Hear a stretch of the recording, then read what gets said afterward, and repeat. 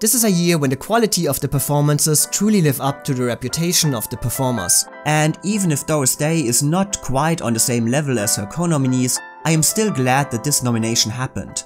In the end, my numbers 5, 4 and 3 were rather clear, but choosing between the two Hepburns was very difficult and it almost feels impossible to compare two so totally different performances. One with the goal to create as much personality as possible, and the other trying to suppress every bit of character to the point of completely disappearing. But in the end, I cannot deny the power of Audrey Hepburn's Sister Luke and the miraculous dedication and thoughtfulness of her work. Still, I would never complain that a European powerhouse like Simone Signoret was awarded with an Oscar when the Academy had the chance to do so. Like Anna Magnani, Simone Signoret got a second nomination a couple of years later for another English language performance, but also like Anna Magnani, she did not start a Hollywood career but continued to work primarily in Europe. Which is maybe not surprising if you have to spend your post-Oscar time in the US with accusations of being a communist, and columnists immediately calling you difficult to cast. Her win did also not cause a new wave of great parts for actresses of a certain age, as for example Barbara Stanwyck had hoped.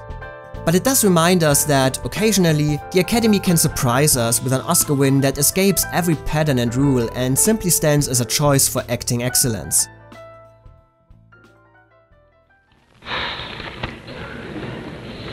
Simone Signoret, room at the top!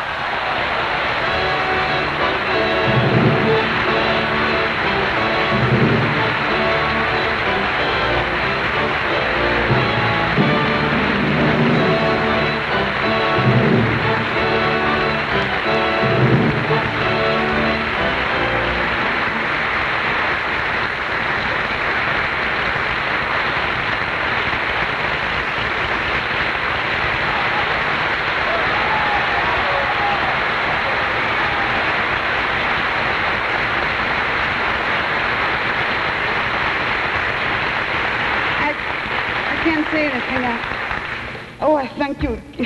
I thank you so much. I wanted to be very dignified and all that. I can't. You can't imagine what it is for, for me being French. You can't imagine.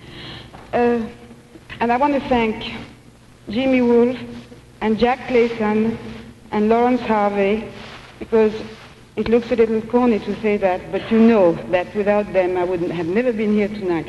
Thank you so, so much.